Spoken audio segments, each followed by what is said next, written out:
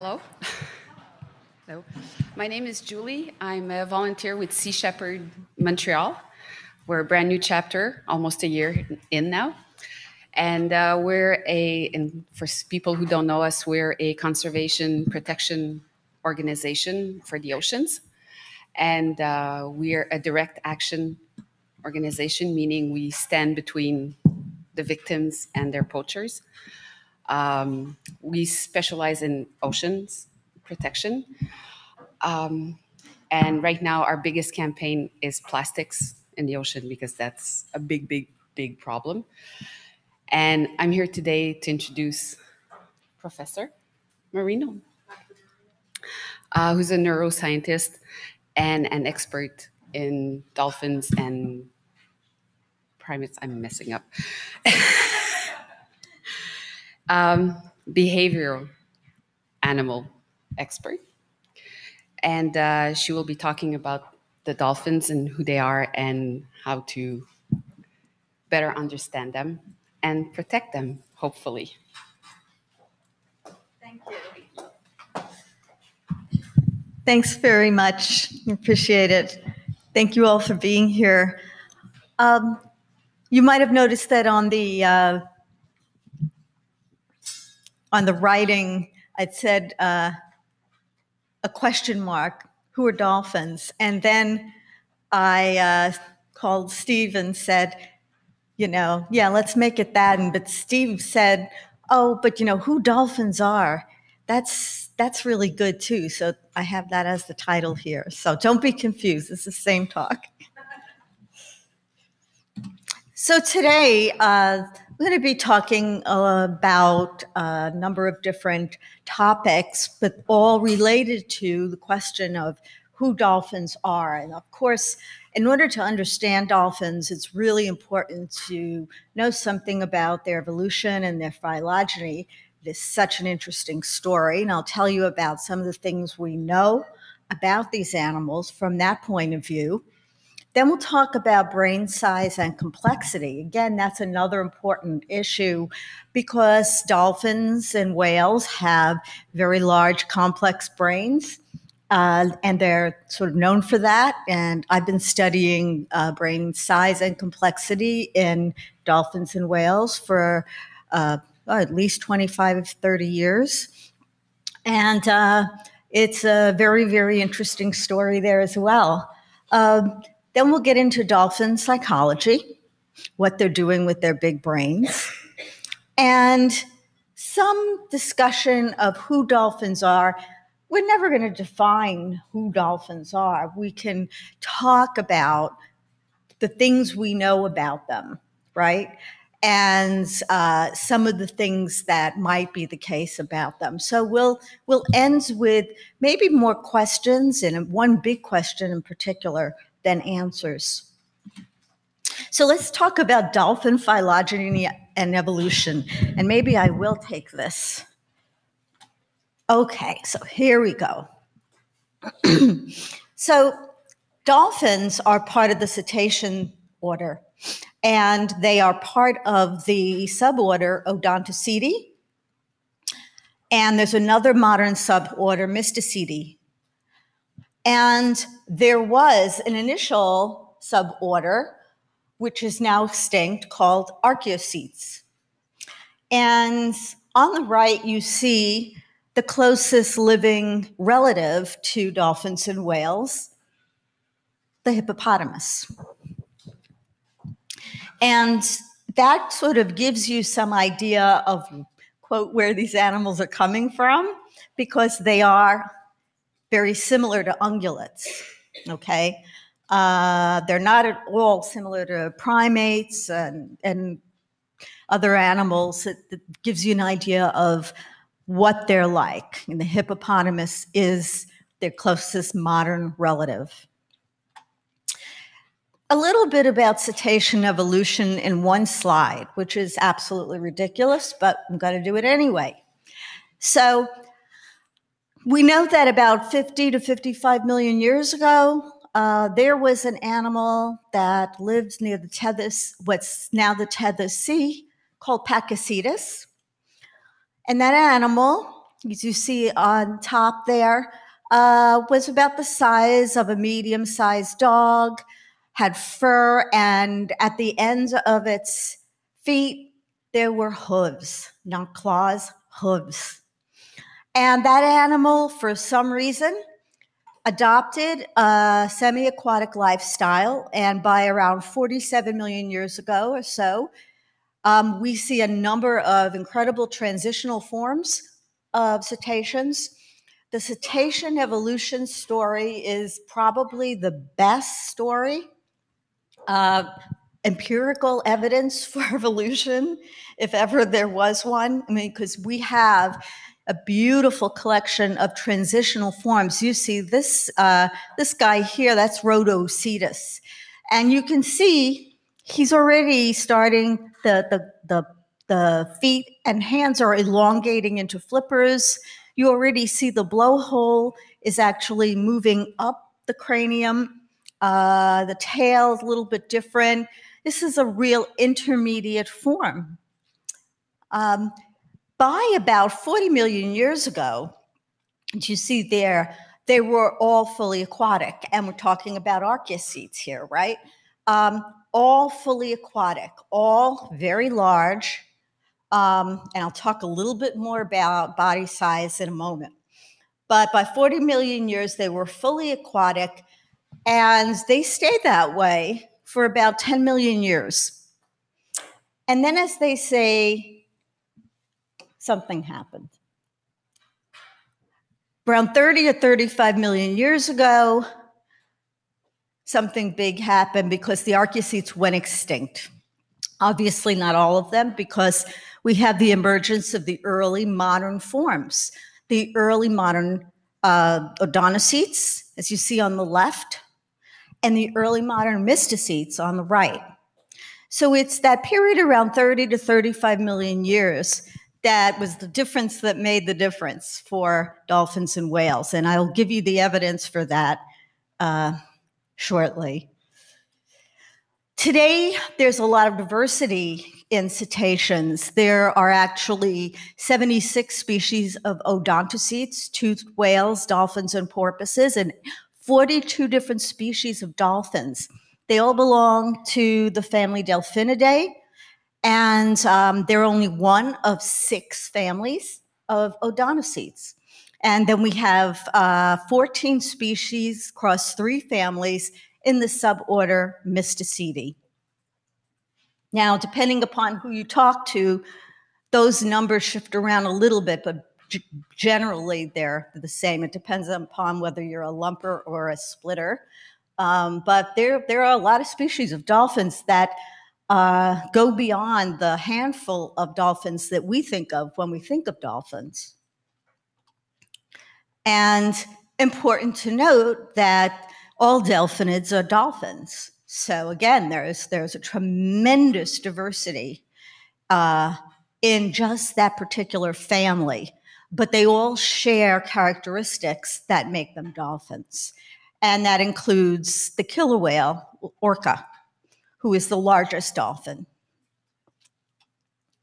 So here's the story. Here's the big thing. This is the thing that um, I was very happy to contribute, the story that I was very happy to contribute to with my research. Um, it's a fascinating story. This is what we know.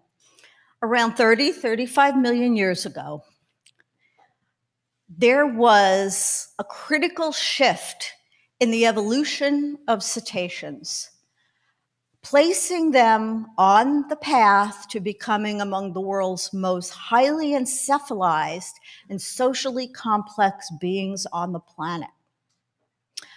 Now,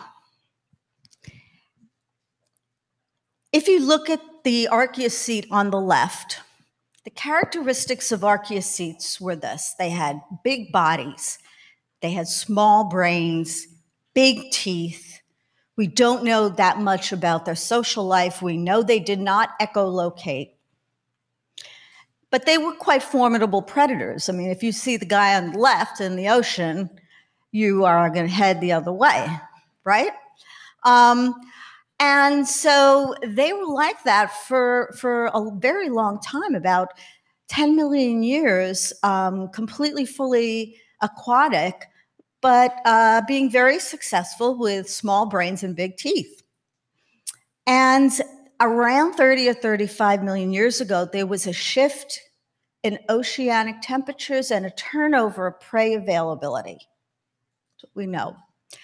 And the guys on the left went out, and the guys on the right came in. Now, they weren't like that when they came in. They were the mod- early modern forms, but um, the formidable large predator with big teeth was replaced with a smaller bodied predator with small homodontous teeth and importantly a big brain. So whatever it was that required an adaptation um, the big adaptation that occurred was big brain we believe that it's possible that social life started to get more complex at that point. We also know they started to echolocate around that time. So lots of stuff happened.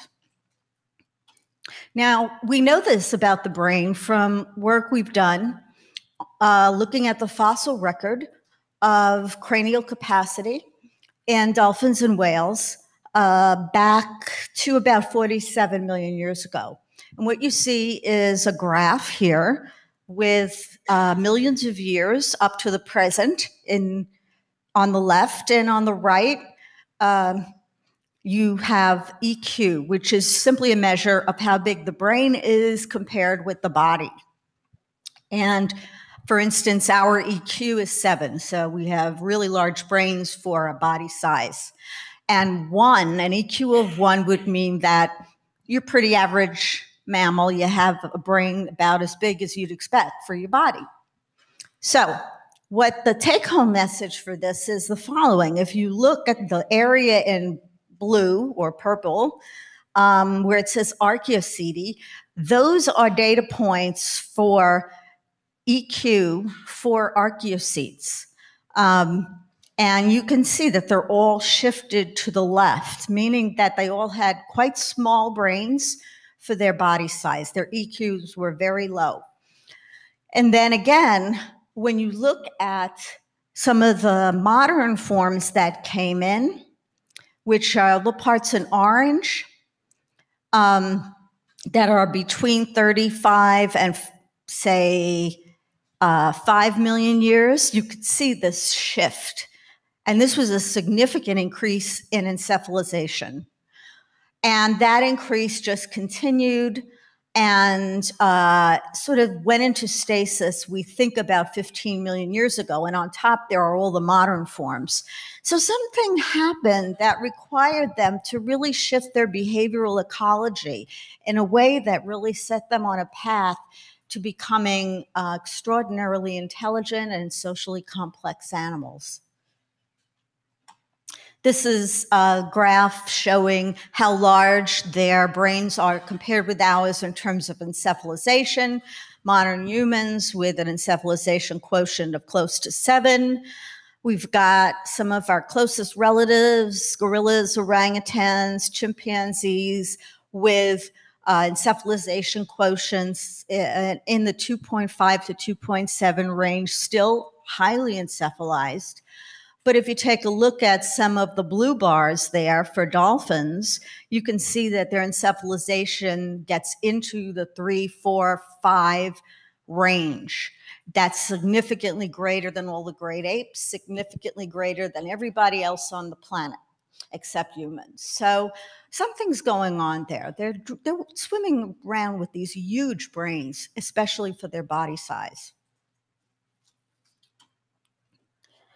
Just keeping track. Okay, so it wasn't just the brains that changed in size, they changed in morphology. And in many ways, this is even more interesting um, because if they just became bigger versions of their of the primitive brain, archaeocete brain, we probably wouldn't be talking about them here today, right? But they didn't. They changed in morphology and in ways that are just fascinating because they changed in terms of how they uh, integrate sensory information, the input output organization of their brain changed, pretty much everything. Um, and this gives you an idea from some of our work uh, using um, uh, see, uh, computed tomography to reconstruct the brains from cranial cavities of fossil dolphins and whales. And you can see from 37 million years ago, that's not a CT reconstruction, that's just a drawing from an actual fossil. That was what the archaeocete brain looked like. Um, and I don't know if I could use the pointer or but if you if you take a look on that part of the brain that brain had a big thanks Thank you, sir. Okay.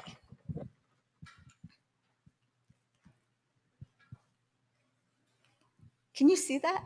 Yeah. Okay. So this brain, see these this part, that's the olfactory bulbs. Whoa.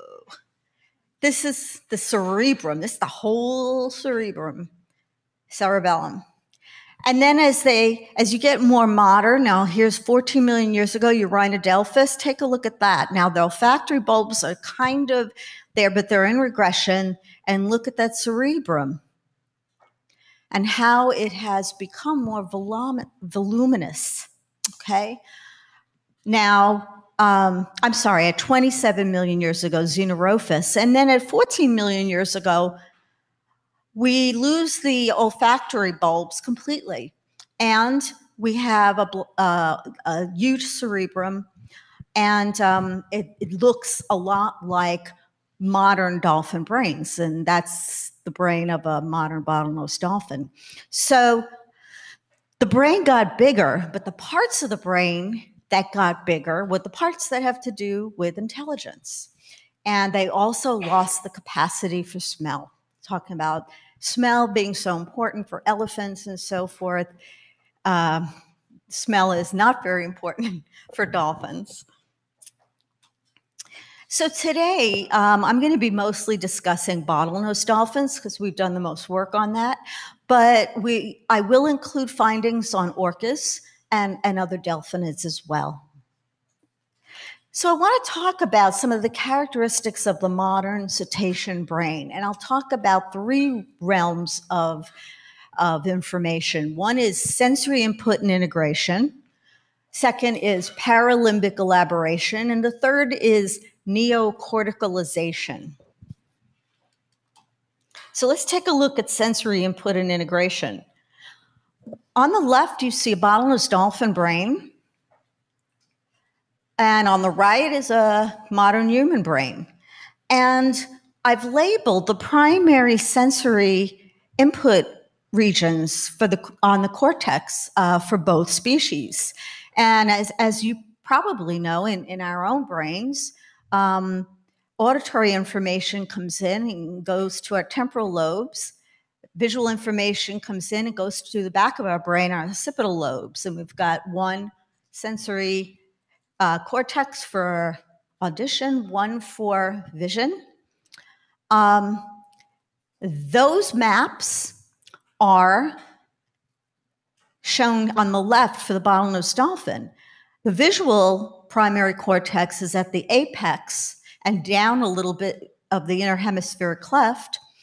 And the auditory primary cortex is right next to it. So they have a property called cortical adjacency. And we think that that is the kind of brain that would produce echolocation, obviously. We know that dolphins are very sophisticated in terms of their ability to mentally represent objects cross modally across audition and vision.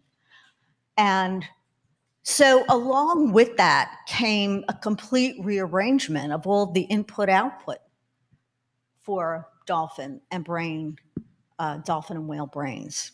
But hold on to your seats. Looky what we found.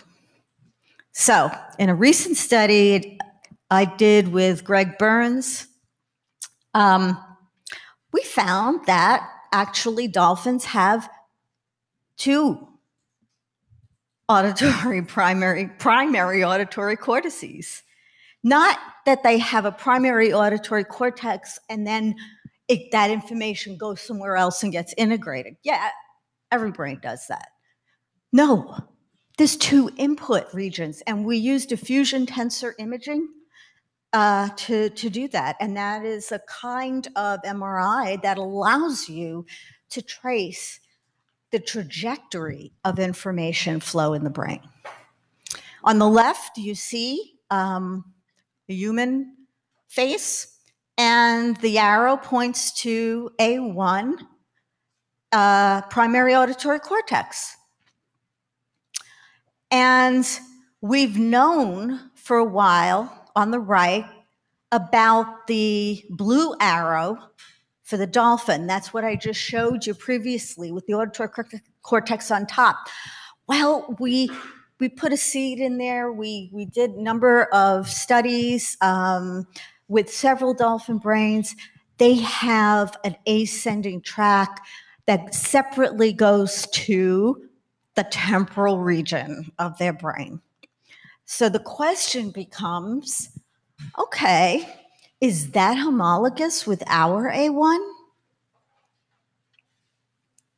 What are they doing? How are they? I mean, they've got two auditory regions. Now, you could say that A1 does a lot of the auditory processing for uh, communicative sounds and, and things that all mammals do. Maybe A2 is the echolocation specialization area. But it's shocking to think that the, the level of complexity here, how, do, how does A2 and A1 get um, integrated? We don't know. We're continuing to work on that. So let's talk a little bit about the paralimbic lobe. Yeah, I talked about the paralimbic lobe in the movie Blackfish because I was so struck by how highly elaborated it appeared to be in the orca brain. And uh, I still am. And, and when I say paralimbic, I mean the tissue that is near the limbic system that connects um, the limbic region with some of the other uh, cortical areas. And one component of that is, is something called the cingulate and the paralimbic lobe. And very generally, very generally, they have to do with emotion, memory, learning, lots of other things. And if you look on the left, you can see that uh, basically this is a coronal image of a human brain from an MRI. And this cleft here is the cingulate sulcus. And the surface area of that sulcus gives you some idea of how much tissue is packed into that brain in that particular region. If it's not very wrinkled, then it has a certain surface. If it's really wrinkled, then that tells you something. It tells you that there was an elaboration of that part of the brain in evolutionary history. Okay, that's a general statement. Let's go to right, the orca brain. This is a coronal uh, of a postmortem orca uh, brain that we studied back in 2004, top, bottom, left, right. And I'm showing you two areas. One is the cingulate cortex or sulcus in the orca brain. You can just see how highly elaborated that is in that region compared with that same region in humans. The other thing about it is this the paralimbic lobe, okay, right here. Now, when I say paralimbic lobe, it's not like humans don't have paralimbic tissue, but dolphins have taken it to another level because it's so elaborated, it has become its own lobe. And we know that it has very, very strong ties that go between the limbic system and the neocortex. So there's something about what this part of the brain is doing and what this part of the brain is doing in dolphins and whales that's very, very important for them. Another fascinating area of the brain is the insula. The insula or insular cortex is involved in some modes of self awareness and social emotions and even motor control. And on the left is the human brain again, and outlined in green is the insula, this region right here. It's pretty elaborated in the human brain. But here's that same region in the orca brain. Okay, so again, we see an elaboration of surface area of tissue of, of modules in the in the coronal image of the orca brain. We don't have a quantification of that yet, but um, we're looking at this uh, gross morphology and we're saying this is an interesting part of their brain. Now I want to turn to neocorticalization. This is, again, um, this is where all bets are off. Um, if you want to challenge anyone about who's who's saying that you know the human brain is the most elaborated brain, the most complex brain, here you go. Okay, so first on this side we have the killer whale or orca brain at about 5,000 grams. Bottlenose dolphin brain at about 1,800 grams, and the human brain at about 1,350. So, you know, obviously, absolute size doesn't tell you all that much. And, you know, you're going to hear about really tiny brains that do lots of good stuff too. Um, and these guys have big bodies. But keep in mind also that the encephalization quotients for these three species are way above average as well. So these are bigger brains than you would expect, even for big bodies. So let's look at surface area and gyrification. Um, here's the deal. When you look at the neocortex of any animal, right, you can take that sheet and pull it out and stretch it out, and it's going to have a certain width. And within that sheet, you have certain modules that process information. Um, turns out that in the primate brain, you have six layers. Well, it turns out that in the dolphin brain and in other dolphin uh, whale brains, you have five layers. It's a thinner cortex. They don't have granular layer four, which happens to be the, the main input layer for our brains. So you got to say, what? Where's the information going? They don't have a granular layer four. I mean, how do you do life without a granular layer four? Well, you do it by inputting to um, layer one and then just going down there.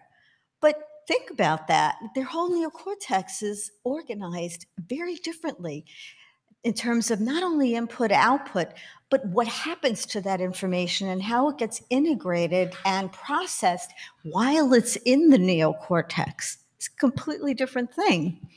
But because they have a thinner cortex, um, they also have more opportunity to fold their cortex. Um, and if you look at the surface area of dolphin brains, for instance, um, you see that the surface area of that cortex is uh, much greater than it is in the human brain. And you saw this in the, in the MRI slides that I showed you. Okay, so it seems to be that surface area is where cetaceans add a lot of processing power. Okay, by folding it up. There's nothing about this cortex that says it has to be folded like that or so extensively, but it is. And in fact, this is the most convoluted brain on earth, and that includes humans. So if anybody says, oh, we got a lot of wrinkled, we got a wrinkled brain that makes us so intelligent, we are bested by the orca and many other dolphins. What's also interesting is that if you look at this in terms of scaling patterns, mammalian scaling patterns, you find that the orca brain and many dolphin brains have more folds than expected for mammalian scaling patterns. So as brains get big in mammals, they get more, the neocortex gets more folded. That's just the general uh, trend. But these guys are even more, have more surface area than you would even predict from that basic trend. Which has led a lot of scientists to really note the profound corticalization of the dolphin and whale brain. Here are two very recent findings, one by Wright et al. in 2016, where they looked at this was only the second study ever done of the orca brain where they used MRI and did some quantification of, of different portions of the brain. They found that the cerebrum accounts for a higher percentage of total brain volume in orcas than in humans. Now, think about that. We're not talking about big olfactory bulbs or big this, that the part of the brain that we think is so involved in higher order cognition takes up a greater proportion of the brain in orcas than in humans. Another interesting finding from Mortensen is they looked at the neocortex of the long-finned pilot whale, another delphinid, and they used a technique to try to count the number of neurons and glial cells in, in the neocortex. And they estimated that this animal has substantially more neurons and glial cells than the neocortex of other large brain mammals, including humans. So the question then becomes what are dolphins doing with their large, complex brains? We get into dolphin psychology.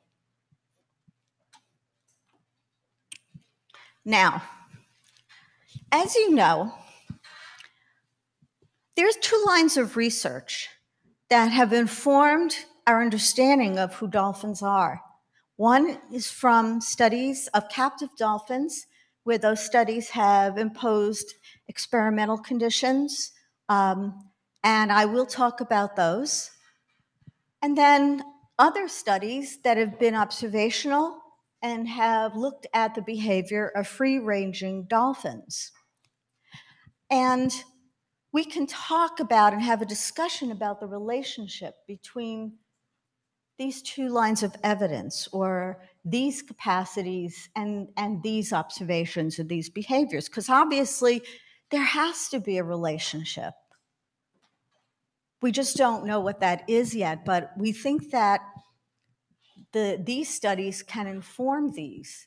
Now, I have to tell you that after I did a number of studies with dolphins in captivity, I gave that up because I realized what was happening to these animals in concrete tanks. So I'm not endorsing this research for the future.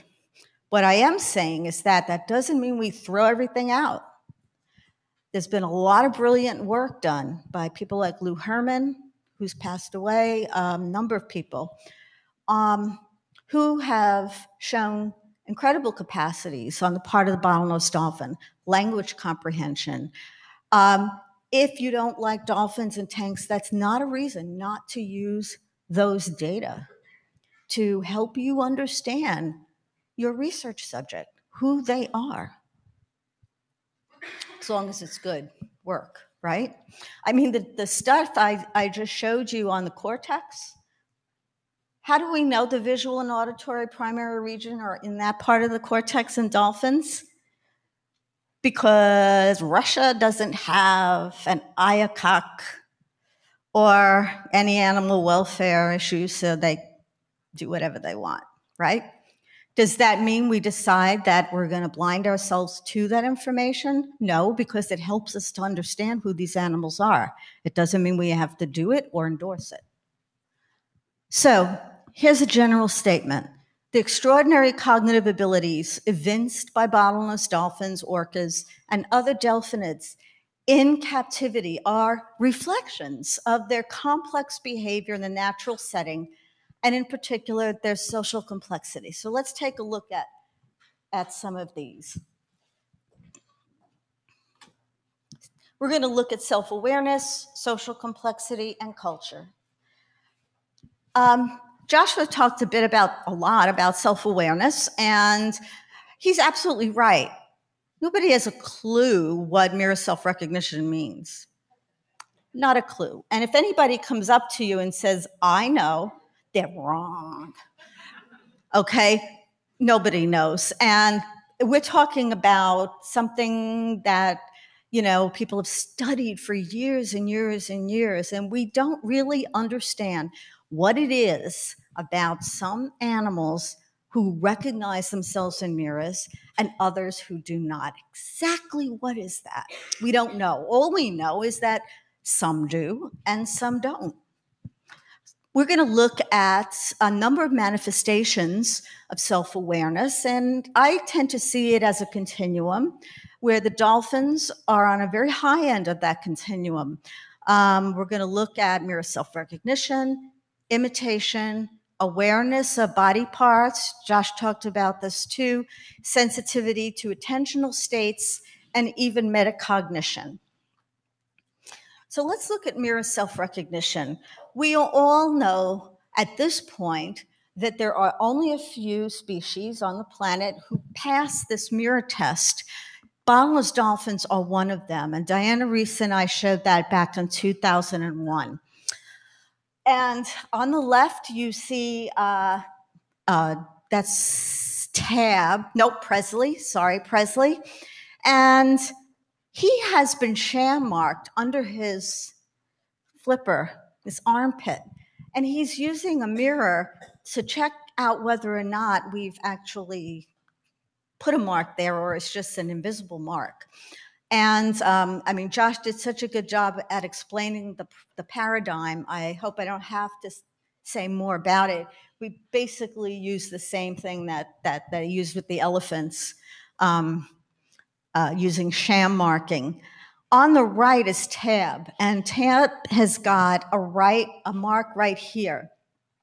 And he's looking in the mirror. And what Tab does is um, start to rotate his head to look in the mirror.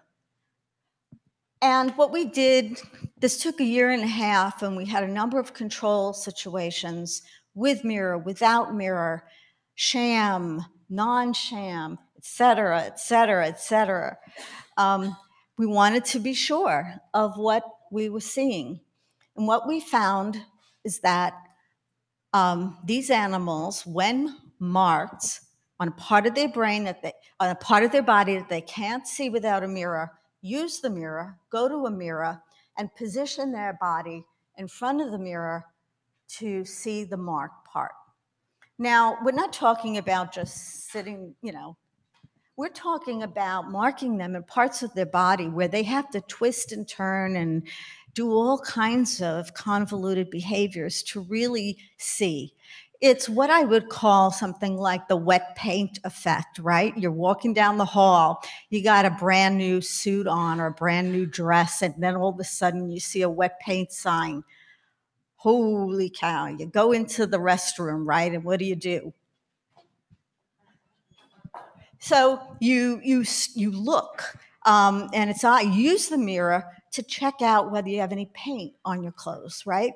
and that's a similar thing to what the to what these animals were doing.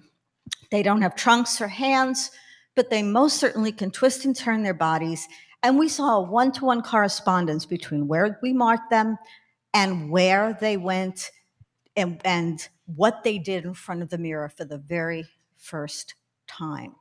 And we saw this in both uh, dolphins independently. Um, so bottlenose dolphins recognize themselves in mirrors. That was just replicated recently by uh, Diana Reiss and a graduate student of hers, Morrison. We also know that they uh, have awareness of their own body parts and actions. Um, here's a dolphin uh, from Lou Herman's lab who is imitating uh, a, a, trainer. Um, and the trainer sticks her leg and her feet up in the air, and the dolphin, this is not trained, it's spontaneous. Dolphin uses her flukes as a substitute for feet because um, she doesn't have feet. And what this shows through a series of, of studies that have been done in Lou Herman's lab is awareness of one's body parts, spontaneous mimicry or imitation, and also an understanding of how one's body corresponds to the body of another, of a member of another species, which when you think about it is very sophisticated. Very few animals really imitate in that way. They may emulate and mimic in some other ways, but um, to actually mimic and then to plug in the part of your body that is as close as possible to that primate's body is pretty sophisticated. They also show the ability to monitor the attentional state of others. Um, they do understand pointing. Um, and joint attention.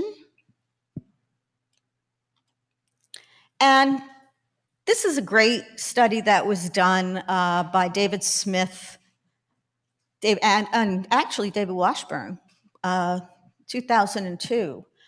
Um, it's a study showing that dolphins are capable of something called metacognition, which they um, probed with something called the uncertainty response.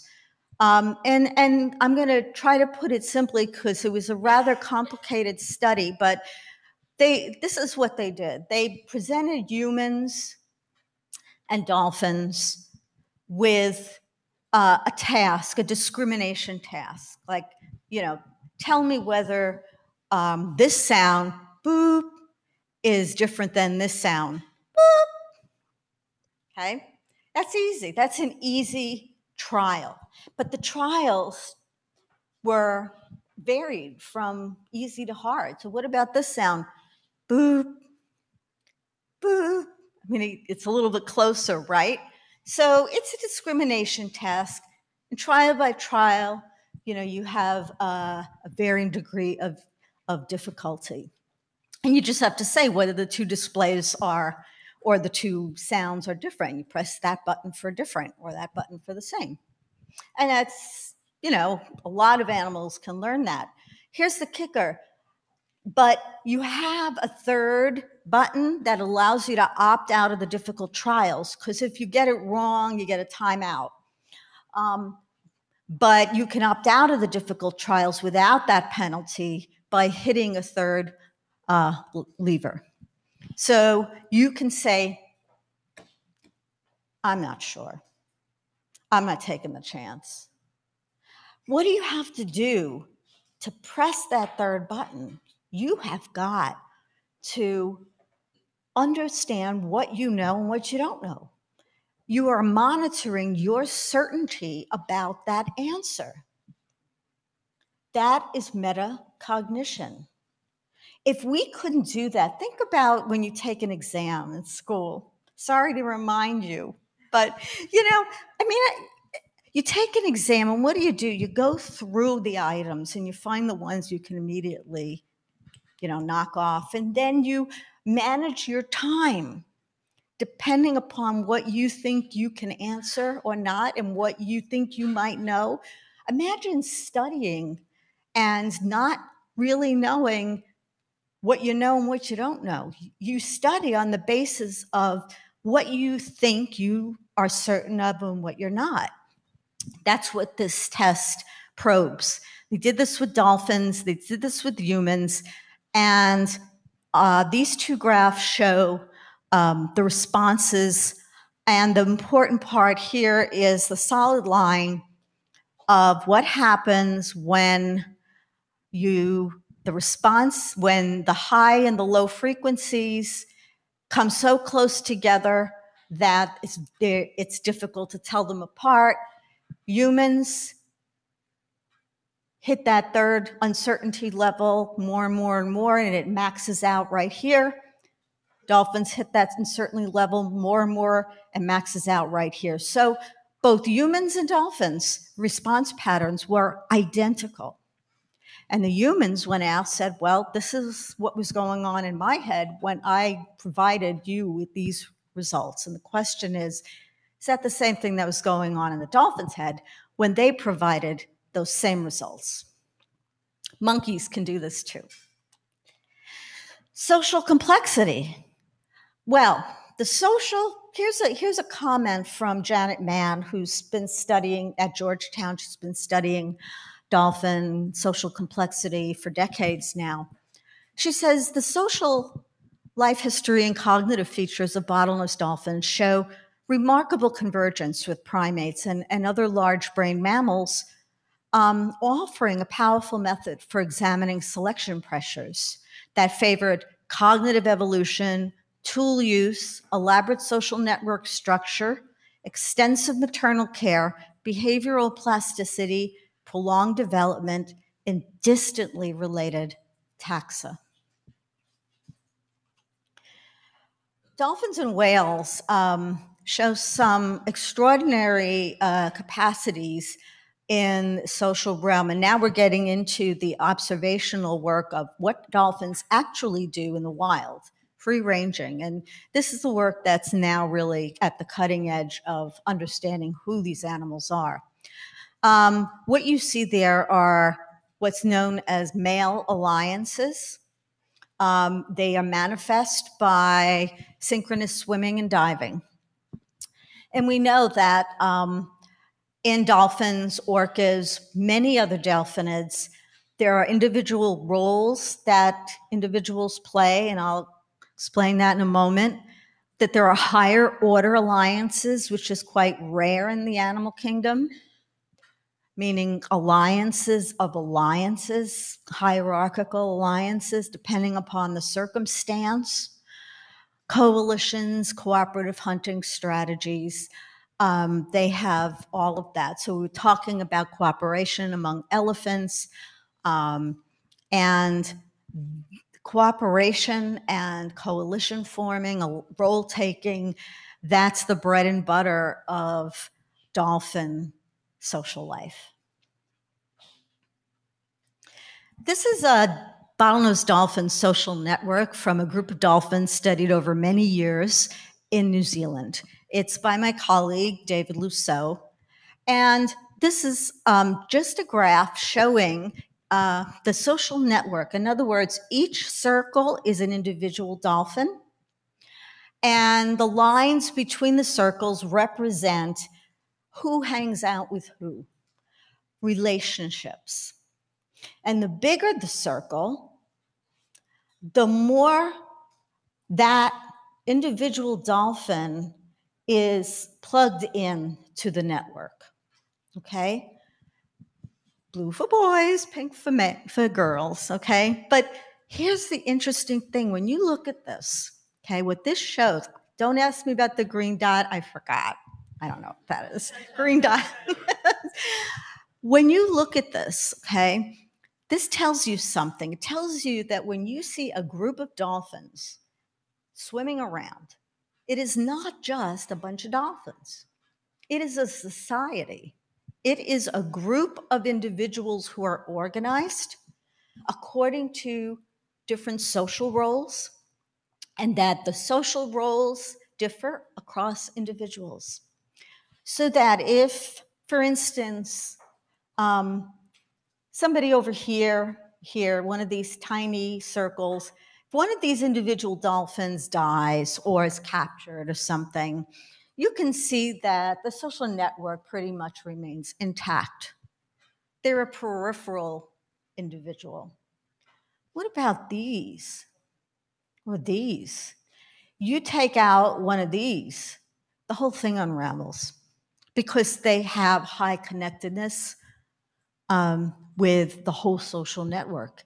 So these are kind of like the move, the leaders of the group, the movers and shakers of these networks. And that's something very important to understand because it tells you that um, the individuality of each dolphin is critical to the survival of the entire group. And the social network analysis is an elegant way to show that.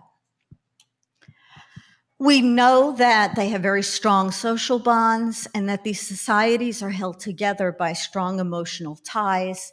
We see a lot of evidence for this, observational evidence, um, through the prolonged close parent child relationship.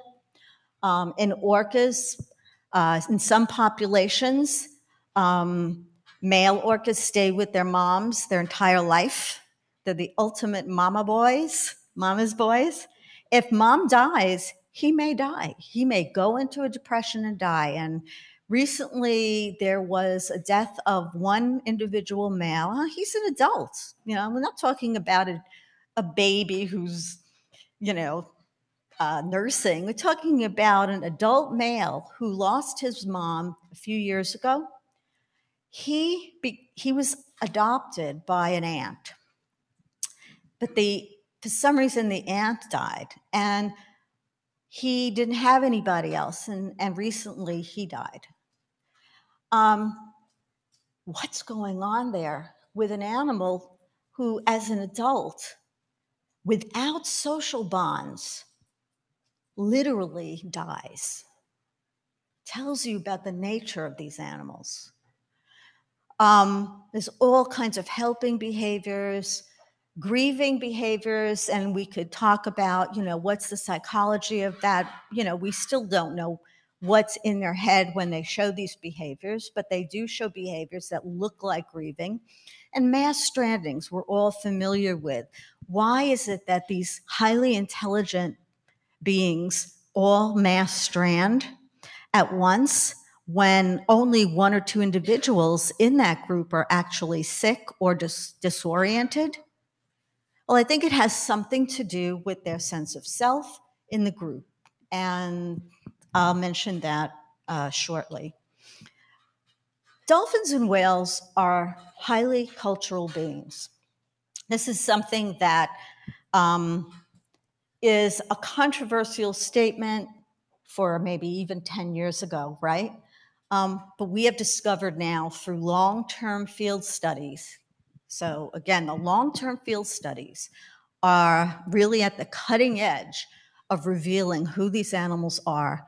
Folks like Hal Whitehead, Luke Rendell, Janet Mann, Richard Connor, showing that Many dolphin species have cultural traditions, and by that I mean learned behaviors passed on intergenerationally and differing from one group to another.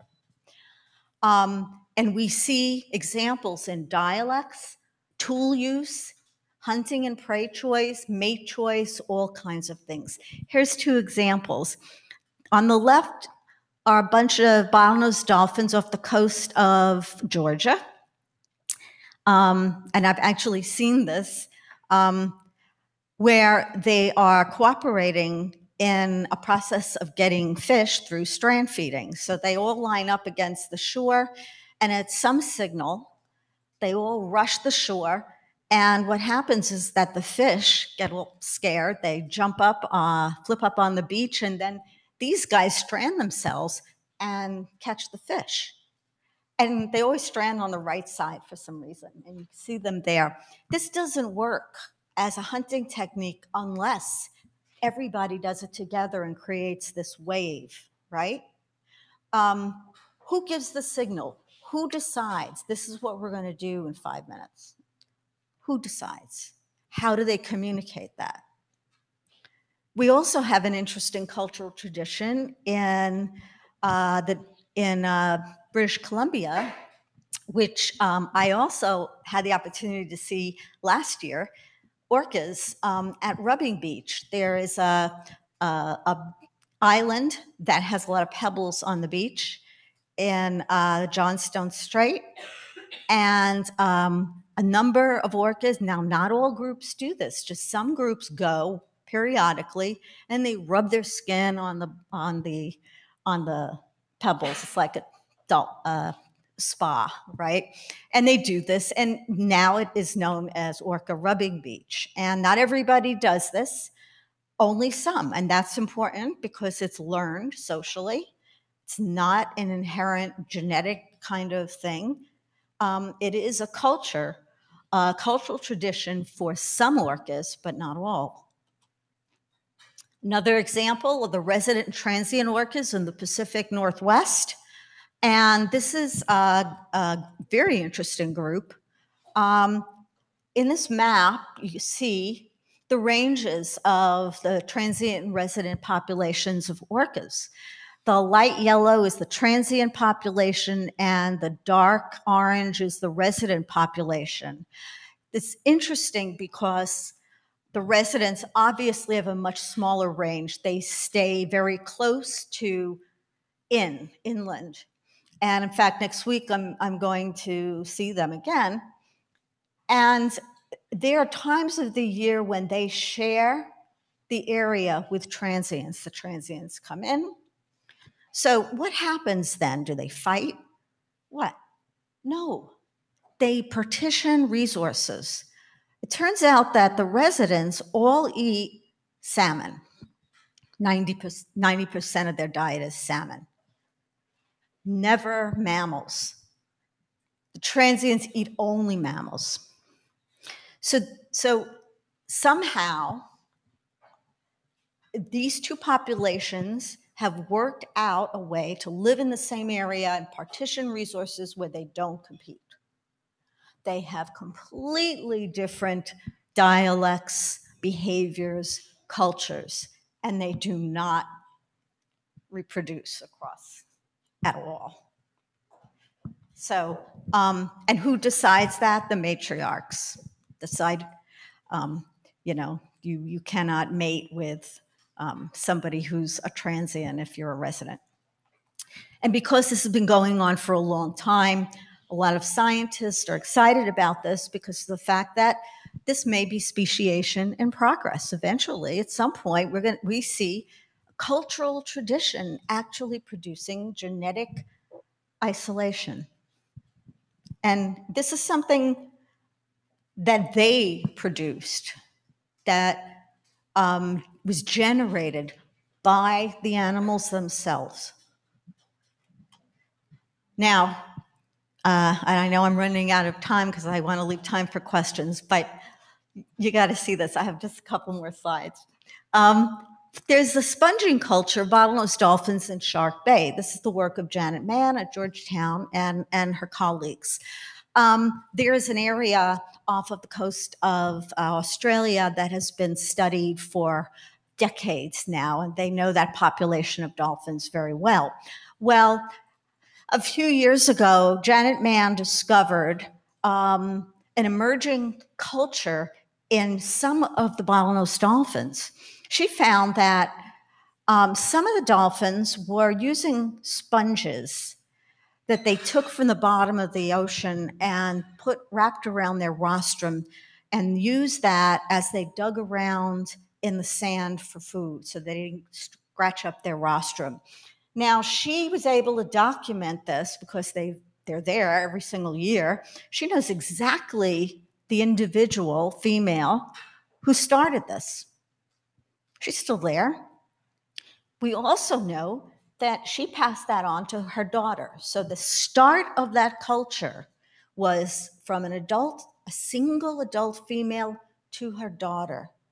That's a very interesting notion because you see a lot of that kind of parallel type of cultural transmission in other animals, where it starts with the females, passed on to the female offspring, and then it starts widening out, spreading a little bit. And here's a couple of examples of the kinds of sponges that they put on their rostrum. And now a subset of that population are spongers. Some are male, Many are female. It is passed down intergenerationally. We know that now because the study has been long enough. And there's social learning involved. And this image shows the populate the full population, and in yellow are the non-spongers, and in red are the spongers. And the spongers are a very exclusive club. Um, And we now know, we now know that spongers prefer to hang out and mate with other spongers. And non-spongers prefer to hang out and mate with non-spongers. Um, here we see again cultural traditions um, started by one individual, now actually, and, and they've done some genetic work already, showing that these, the spongers and non-spongers are starting to diverge genetically. Which, when you really think about what that is, it's absolutely fascinating. That story is ongoing. We have another culture that emerged in Australia um, for humpback dolphins. Um, this was this by Allen's very recent finding that um, for some reason the males in this population have started a gift giving culture. They go down and they find the most elaborate corals and things that they can pick up, and you could see that that thing that he's carrying around there, and they give it to the females um, so that the females will mate with them. Okay, so we're just starting to see this kind of thing, and you can imagine um, this kind of uh, culture and the course it's going to take over time as they study this population. So, to summarize, again, who dolphins are, I'm going to look at the things we pretty much know from the data. And the next slide are things that we think, but are more speculative and intriguing that we could discuss. What we know about them is that they're highly intelligent. They're very self aware, very high on that dimension. They're socially complex cultural beings. Does that, is that true for all dolphin species? Probably not. I mean, we don't know much about most dolphin species or most cetacean species. We're talking about maybe five to 10 species that we've actually studied enough to know this about them. They have an interesting combination of behavioral flexibility and cultural conservation. So they're very culturally bound. When a culture takes hold, they're very conservative. And if somebody wants to ask me about that later, I can talk about how there's a group, the population of orcas, who are so culturally conservative that they're starving to death. They are obviously exquisitely adapted to ocean life, traveling long distances, diving deep, highly reliant upon learning during a very long, prolonged juvenile period. And they process information more rapidly and in a more integrated manner than we do. We know this from some of the brain studies, and certainly this is the case in the auditory realm, where we know that they process auditory information at a much higher rate than we do. So now for some of the speculative stuff. From what we know about them, we could say, and we could discuss, that their social bonds are as strong or stronger than any in the animal kingdom, including humans. So when you think about things like mass strandings, you think about adult individuals perishing when they don't have social support. Um, you really have to think about whether there is a level of social bonding across, among certain dolphin and whale species that even we don't grasp. There is a uniquely strong connection between emotion and cognition. Well, obviously, that's true in humans as well. But when you look at the connections, neurological connections between their limbic areas and the, the integrative neocortical areas, it suggests perhaps that they even have more integration or that their decision making and their processing of information may be even more integrated with their emotional system than we understand. That they may have a multi layered sense of self, and this has been suggested uh, by uh, Harry Jerison and a few others. Um, obviously, they have a sense of self as individual. They recognize themselves in mirrors and so forth. But there are some aspects of their behavior as social beings that have suggested to some scientists that maybe their sense of self also has a layer that is distributed across individuals. The way they are coordinated in their groups, the way they literally almost die without their group.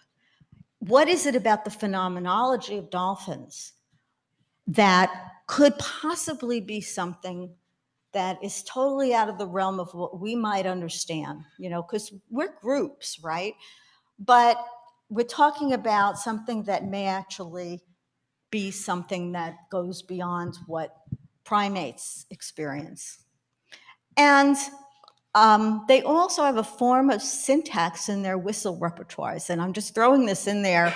It's a big one, right? But in fact, um, a number of scientists have published papers using information theory um, to look at the vocal repertoires of bottlenose dolphins and to make a long story short, um, when they do this analysis with human uh, speech, um, they find a certain number that represents the level of complexity or structure in a, a repertoire of language.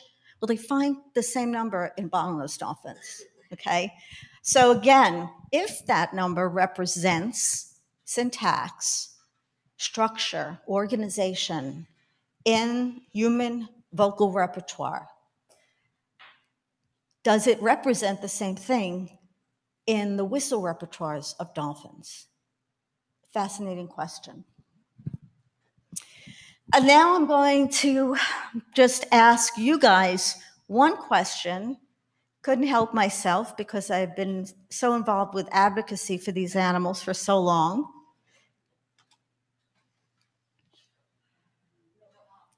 Can beings like this thrive in concrete tanks? So I want to thank you.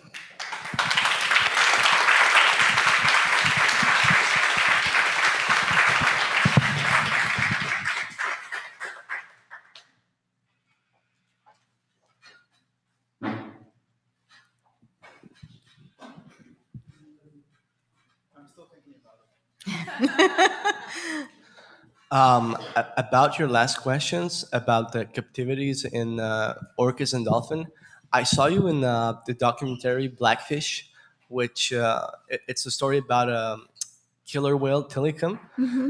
And um, I was just wondering because you spoke about cultures um, in dolphins. Do you think it's easier for um, an orcas that has been kept in captivities for a very, very long time to just go back in the wild Oh my gosh, that's a great question. And it's an empirical question. The question, I think, if I hear it right, is Is it easy for animals like this who have been, say, held captive for so long to just be reintroduced to the wild and have a life? Is that exactly? Yeah. Okay. The answer is no. Um, and the reason it's no is precisely because these animals are so social and complex and require uh, so much of a prolonged juvenile period to really know what it's like to be an orca, a pilot whale, a bottlenose dolphin. They don't have any of that when they grow up in the tanks. Um, they lose all that. They lose the ability. They, if they're born in the tanks, they never learn how to how to hunt. They don't know that a fish is a live fish is food. They think it's a toy. Um, they don't have any of those skills. And moreover, unless they can be reintroduced to a natal social group, their chances of survival are extraordinarily slim. And how many individuals do we actually know where the natal social group is? Very few. For those who were captured as youngsters, two, three, four years old, they've been in captivity for decades now. Um, for those who were uh, born in captivity, they absolutely have no skills at all. Um, and the interesting part about that is that when you look at the welfare issues uh, for both captive born and born in the wild and then taken captive, they're exactly the same. So even captive born dolphins and whales do just as poorly as those who were taken from the wild. They, it just doesn't work. Thank you. Does that answer your question? Yes. Thanks.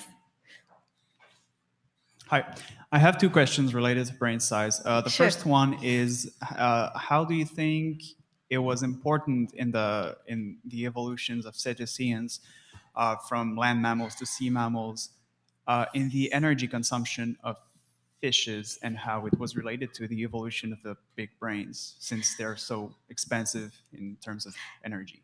So if I understand you correctly, you, you are sort of talking about the notion that perhaps by eating fish, that Exactly. contributed to large brains? Good question. Um, and I know there are anthropological hypotheses out there about that having to do with the human brain, right?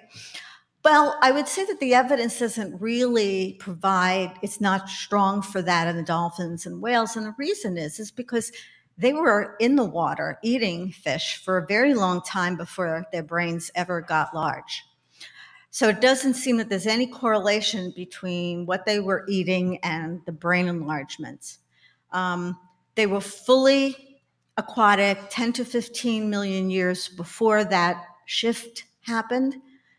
So I'm not saying it doesn't have anything to do with what they eat, but it's it's not as simple as well. The fish, so eating fish gives you a big brain. That that's sort of not the case in the dolphins and whales. Okay, thanks. And my second question is, uh, it's just I would like to have your take on the importance of the EQ measure because I, I know that in primates there is so much variation between Mhm. brain size related to body mass and even species that have similar social organizations and, and nutrition. You can compare two frug- frugivores Yeah. and with the same social organization they can have a dif- different completely different eq and it doesn't directly i think relate to intelligence but you, you talked a lot about brain morphology i think this has the mo- most important but so what's your take on eq My take is that it is a measure of something, but it is very limited. And I say that as somebody who did my dissertation work on this and kind of put it on the map for dolphins and whales. But I'm saying that it's not everything, it may not even be most of anything. It's just one measure.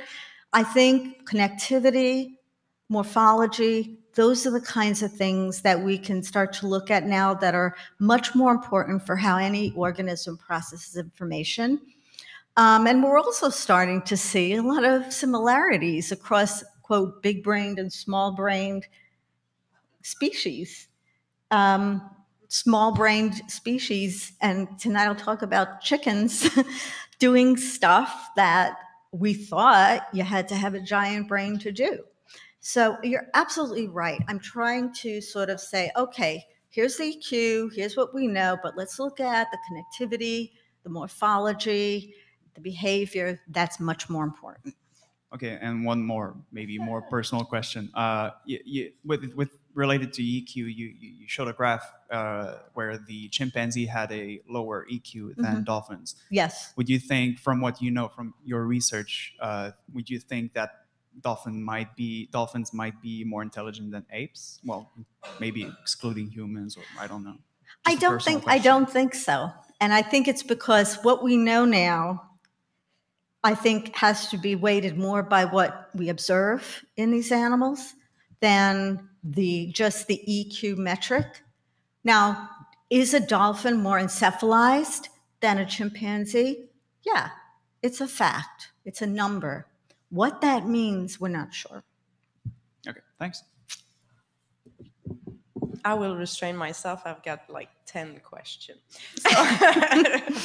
um, there is one that, that kept in my mind from the moment you showed uh, the social network. Yes. Uh, we saw clusters of male and some cluster of female Yeah. and i was asking myself is there some family relationship is there some factor in, in those relationships because some nodes were very small outside maybe those are the babies they had not time That's to right. uh, to to put bonds or, or learn social skills that make them important in the society, and the females at the very center, uh, like they were the mothers and matriarch. Yes. You actually pointed a little bit on it, uh, talking about trends being set by the mother, Yeah. and then shown to the daughter. What is the relationship between family ties as as we use them as humans? We are closely bound to uh, beings that are close to our genetic material because we train them from an early age.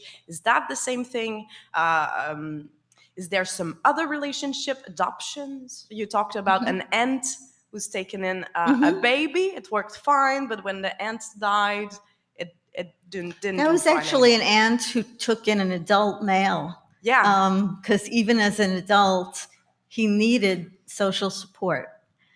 Um, so it's yeah. family and yet uh, how much farther from the mother can you go so those bonds would be very strong and very central Yes. and this social network is is that simply a clan like we understand it in Yes. human a human clan is uh, loosely family related with some adoptions and yeah what, what do you think about that? yeah. and the Uh, second question i'll, I'll throw it right away because it's a bit uh, linked to it. Uh, we have one difficulty from last week linking measure to concepts. It's difficult to say, oh, this is a big brain, that means it's- it's intelligent. Right. So, what would be uh, uh, the cautionary word you would use since you have such a, a, very compelling proof that uh, dolphins have just bigger brains than humans? So, what, what are the cautionary words uh, you would tell us to not step over this conceptual problem? Well, to answer the first question, you're absolutely right. I have a slide there from one study of social network analysis of this particular group of dolphins that one individual team has been studying for many years. I can show you other social networks from other populations. They do represent a great deal of complexity and a lot more than can be said or represented by what you saw there. There are clans, um, and there are family family ties are exceptionally important, particularly between mother and child. But it really does depend not just on species, but on population. So, for example, in orcas, there are some groups of orcas who are matriarchal. There's a matriarch, she calls the shots. Um, when she dies, somebody else takes over, or there's some disorganization until somebody takes over. Those are the those are the populations where you have the, the males who live with their mother. They stay by their mother's side their entire life. They mate with who she wants them to mate with. They die if she dies. Not always, but you, you get the idea. um, so we have everything from that to orca populations that aren't as matriarchal. Um, there's a great variety. But in general, for dolphins and whales in particular, family groups very important, um, and a lot of the fem- a lot of them are matriarchal or female-centered, with gangs of males roaming around, um, sort of going in and out. But um, the females are really um, it- as they are in i think in, in many species the ones that hold everything together because the continuity of generations is mainly from mother to child. Um, I could, we could talk more about that. And then the other one is about the cautionary I, I would caution that again i think we have to take all information in right? So what do you do with the information about the fact that dolphins are swimming around with these giant brains that are energy expensive. You, they don't have to have those brains, but they have them. So our job is to understand why. I don't, you know, I mean, so it's it's uh, we should definitely not ignore brain size or encephalization level or any other measures of brain tissue, but putting it in perspective and saying that, you know, again, there's, we are so far from really understanding. I mean, we don't, no one will ever agree on what intelligence is anyway. And we're so far from understanding how brains relate to behavior and cognition that we just have to take all of the information and try to make something of it.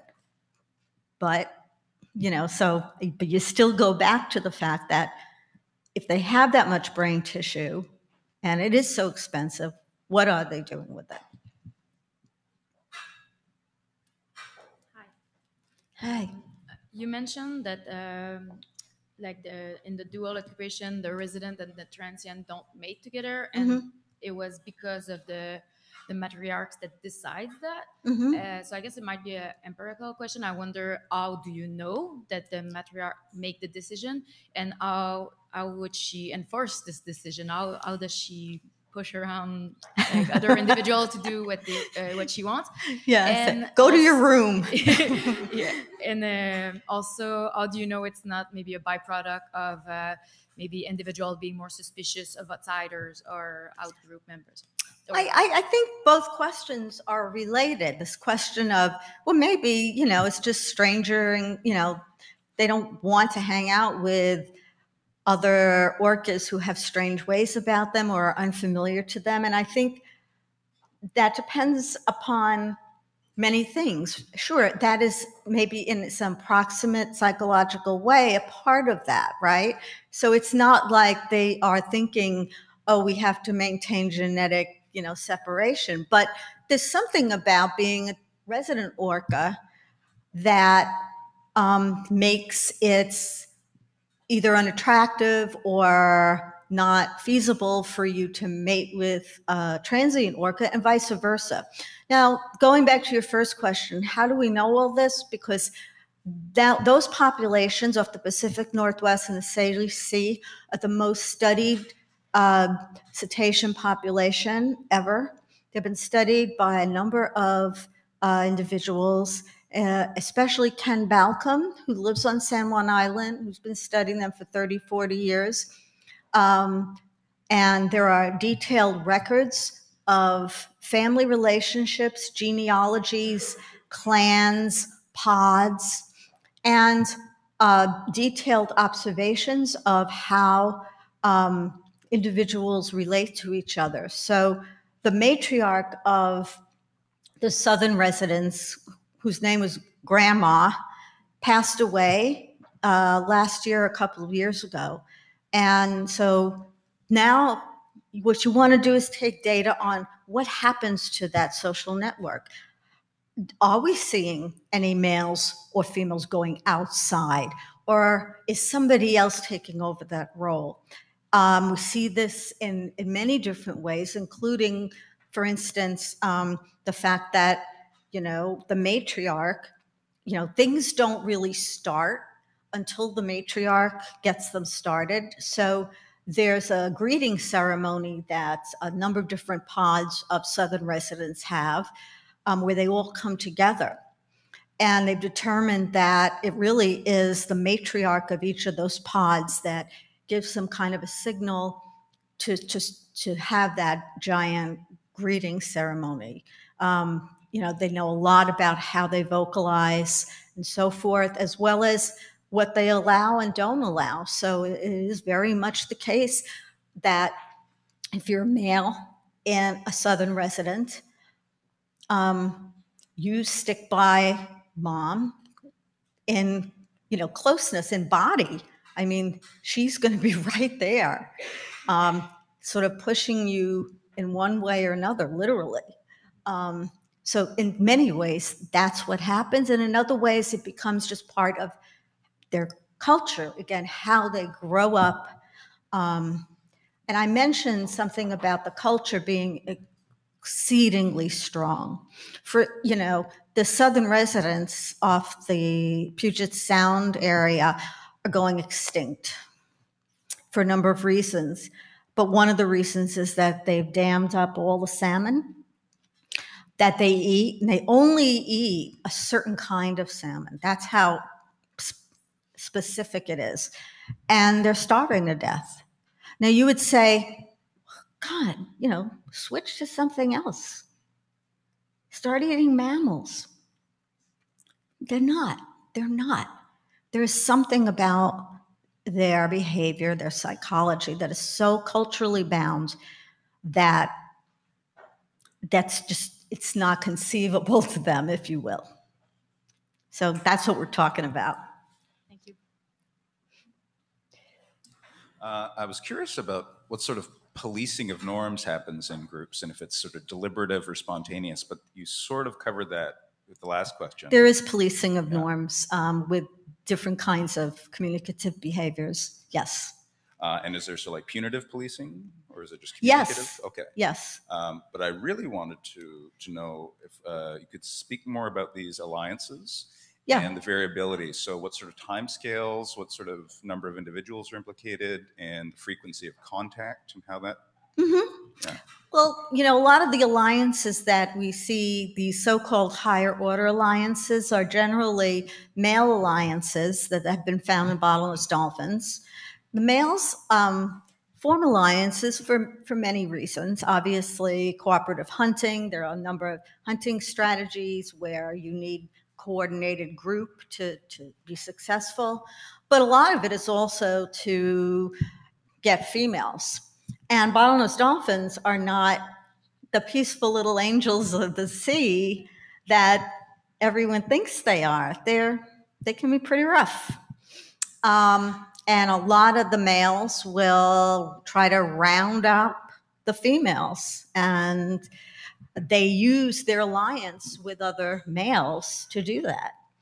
Um, so you might have um, a group of males who form an alliance of maybe three or four or five individuals that decide, hey, we're going to go get that female. And they they work together to round up that female.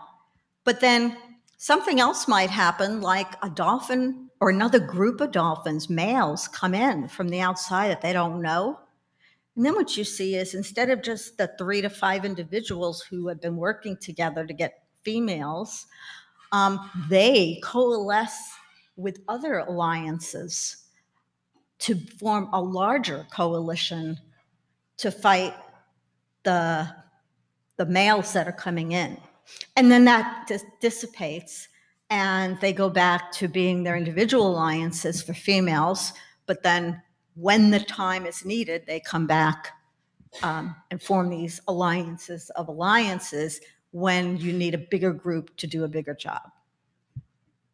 But if you just like, what's the biggest in terms of population? Like, how many individuals would we see implicated in a? Oh gosh, I don't know. Um? I, I, I want to say about 20, but I, I honestly don't know the exact number. But I do know that it is hierarchical. So um, obviously, not everyone participates. It is actually a hierarchy of established um, alliances. It's not like males come in and then every male fights, you know. There are actually established, long-standing established coalitions that coalesce and break apart depending upon the need. Thank you. Hi. Hi. Uh, You mentioned uh, uh, communication, syntax, complex uh, Yes. language. Has there been any trial in communication, you know, with using computer to reproduce what kind of what they're saying? That's the six million dollar question, right? Everybody wants to talk to dolphins, um, and we don't have a clue how to do that. And and without being facetious, I mean seriously, there's been decades of work done, playback experiments and so forth. We've established that they make different kinds of sounds under different context. We know that a few sounds represent certain things like you know, uh, a squawk or Um, when a mother disciplines her child, for instance, she'll do a buzz on him, things like that. But that's e- quote easy because you see the correlation. You see the sound, you see the behavior. So, okay, one to one. It's all the other stuff that we don't get. Um, and we don't know really what their unit is, if they even have a unit. Um, so, the, the work that I talked about by Brenda McCowan and Laurance Doyle, Sean Hanser, it's very interesting because it's, it's extracted from whether you're looking at dolphins or elephants or primates or birds. It is a, it's a quantitative statistical analysis that you can apply to any repertoire where you have you do have units. So if you can parse the whistles of bottlenose, a population of bottlenose dolphins, you can do that analysis. Parse the talk, the, the words of any English or Italian or Spanish speaking, any human speaker, and you can find the structure. It doesn't tell you what they're saying, it just tells you that there is some structure there, and we don't quite know exactly how this manifested in the free ranging population. I have to play the bad guy again. Unfortunately, we have to stop now. The good news is that there'll be a panel and you can ask Lori more questions and stay around because there's very important things this evening from Lori as well. Thanks.